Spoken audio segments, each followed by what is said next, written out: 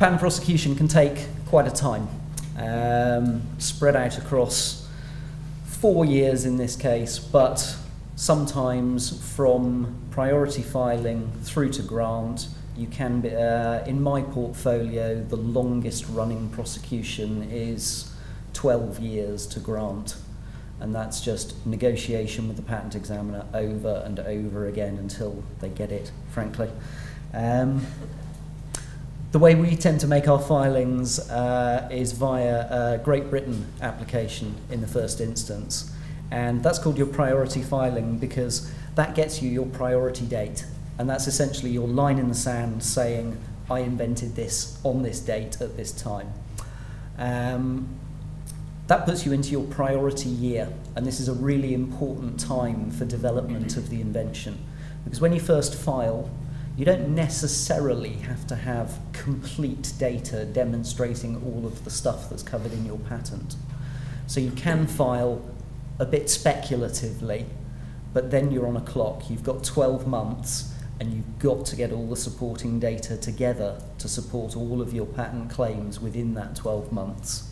So the clock is ticking from your priority filing at the 12 month time point, uh, the reason you get 12 months is because after one year, the patent authorities will expect you to make an international filing. And the way we and most of our university colleagues make an international filings these days is via the PCT system, uh, which is the Patent Cooperation Treaty. This is essentially a bit of legislation that sought to unify patent protection across Europe. Uh, so it means that when I'm prosecuting patents, I don't have to be talking to the patent office in Germany, Spain, France, Italy. I can just deal with the PCT authority and get a European wide coverage.